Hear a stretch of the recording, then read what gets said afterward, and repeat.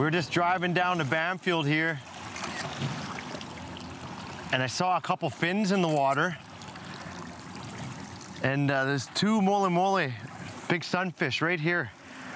This kind of, we just put the boat in neutral. Now they're, they're kind of playing with the boat. They keep circling back around. But such a cool, cool fish. Look at the thing. It just looks like uh, alien-ish, eh? A lot of times it almost looks like a shark when its fin comes up. But these are, you know, looks like a couple juveniles because they do get humongous, up to 3,000 pounds. And they eat jellyfish. So uh, a lot of times you see them in, in warmer current and uh, the water is a little bit warmer on the west coast here last uh, couple weeks.